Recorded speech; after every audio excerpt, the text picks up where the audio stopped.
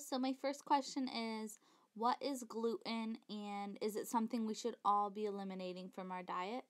There's a whole bunch of people out there, uh, perhaps 25% of the population, who are avoiding gluten for health benefits, who don't have celiac disease and don't develop symptoms.